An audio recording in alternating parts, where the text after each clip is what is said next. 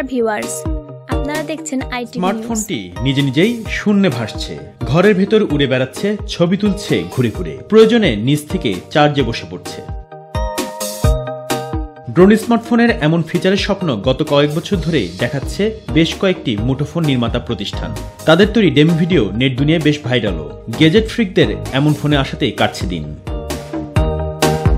এই স্বপ্ন মনে হয় চলতি বছরে সত্যি হতে চলেছে। মুঠোফোন উঠতে পারুক বা না পারুক, তবে ফোনের ভিতরে সংযুক্ত ড্রোন হয়তো সেই স্বাদ কিছুটা হলেও মেটাবে। সম্প্রতি এমন এক ফোনের গঠন প্রণালী ফাঁস হয়েছে।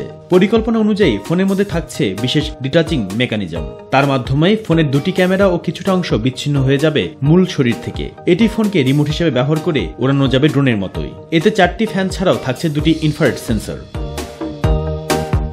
এছাড়াও ডিটাচেবল ক্যামেরা প্রযুক্তির চমক দেখা যাবে চলতি বছরেই যাতে ফোনের উপর থাকা পপ আপ ক্যামেরা আলাদা করে ওয়াইফাই এর মাধ্যমে ব্যবহার করা যাবে। সেক্ষেত্রে মূল ফোন থেকে সেটি কন্ট্রোল করতে হবে। গ্যাজেট বিশ্লেষকদের ধারণা এটি সেলফি পোর্ট্রেটের সংজ্ঞায় পাল্টে ফেলবে।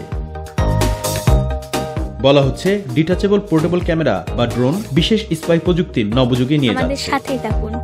আপডেট নিউজ পেতে আমাদের চ্যানেলটি সাবস্ক্রাইব করুন। ধন্যবাদ সবাইকে।